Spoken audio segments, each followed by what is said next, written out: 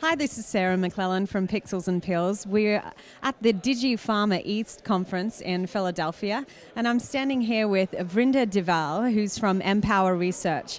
Can you tell us a little bit about yourself and your position within the company? Oh, absolutely. So, Empower Research is a uh, analysis and insights company, and we've been working very actively with pharma helping them monitor. But I think what is really interesting in what we do and what we're very passionate about is really taking this entire conversation which is happening on social media and taking it to the next level to say how can pharma harness these opinions, which is essentially an unsolicited, you know, focus group out there and make it useful for them for their businesses.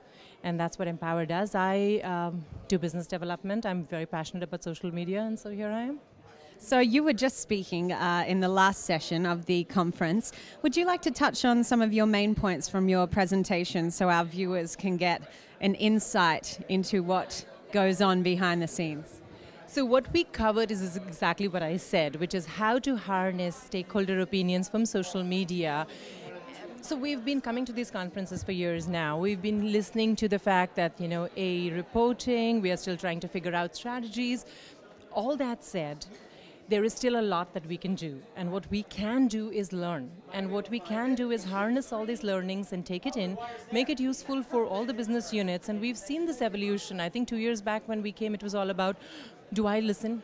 do I really get into anything? You know, what do I do? Let me test the waters. Last year it was more around, you know what, I'm doing stuff. I'm still trying to figure out is this the right stuff? I have to be wary about what, you know, guidelines are coming out.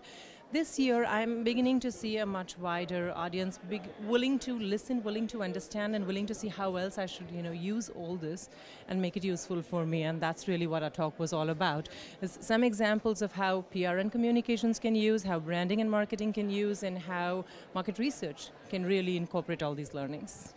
How do you feel, uh, how important is it to have a direct connection to the patient through, you know, healthcare providers, through uh, pharmaceutical companies, through the marketing companies? How important is, the, is it for them to really break through and have a real connection to those patients? I think we heard it all through the conference today, and I think I heard it from Brad.